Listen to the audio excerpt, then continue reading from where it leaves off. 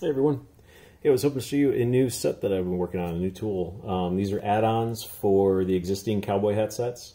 And what these are, doming pucks. So these allow you to get a nice center dome on your coins without the need of a dapping block.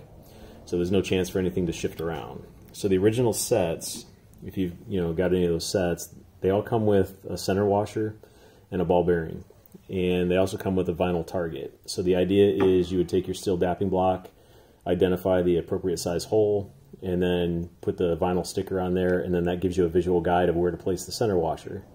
So obviously you would need a steel dapping block for that, and there's always a chance of this bumping or moving on you, you know, when you go to move it over to the press foot, or if the press isn't quite square, you might get a little bit of shifting. So to alleviate some of those issues, um, these new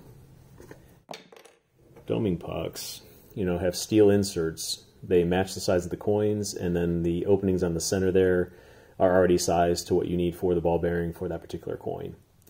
So there's five sizes that are going to be available.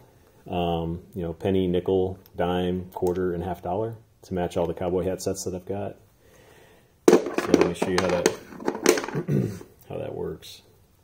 So this is the guy for quarter. You can see here it's sized to match the coin.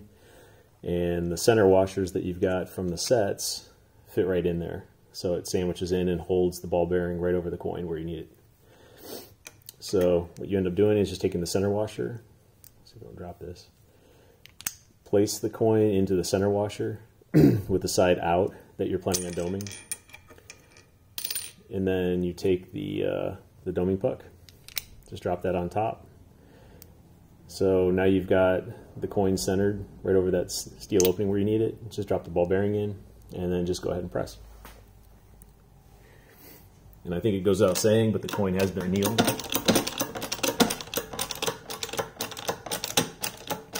It is more the video process of recording here. So as you press that down, what you're doing is just pressing until you lose that gap. So you're pressing the ball bearing down into the coin, and then as soon as the press touches the top of that center washer, then you're done pressing. So we'll go ahead and back that off. So at that point you get this. So that ball bearing's you know now pressed down in. So now we can take the center washer off. You've got a nice dome right in the center of the coin. So dead center, there's no no detail loss other than the metal stretching itself because it doesn't have anything to press or bottom out in. And then the next step is you just want to flatten out that brim. So that's where the Delrin mini pucks come in handy.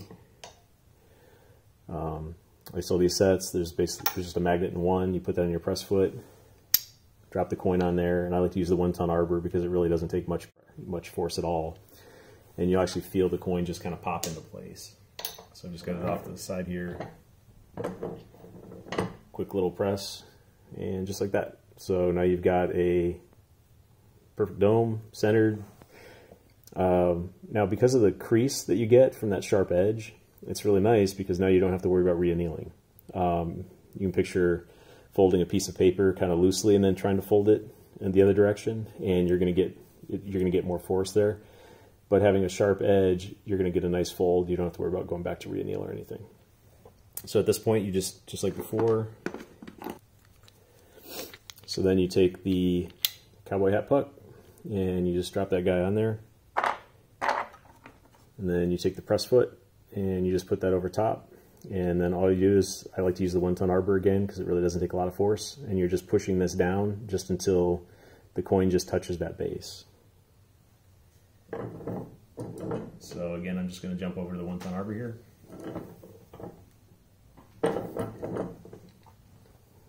Doesn't take much at all. So at that point, pull that guy off, pull this out, and then you've got your cowboy hat.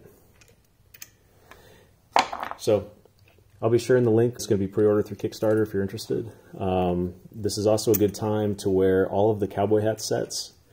So all of the sizes, the half dollar, the quarter, the dime, the penny, and the nickel. They're all going to be on sale through the Kickstarter. All of the sets are going to be discounted as part of this. So if you want to fund the project, um, now would be the time to do that. And then you could also pick up any other size cowboy hat sets that you might be interested in and get them at a discount. So anyway, if anyone has any questions at all about these, you know, please let me know. And I hope everyone's doing great. Thanks.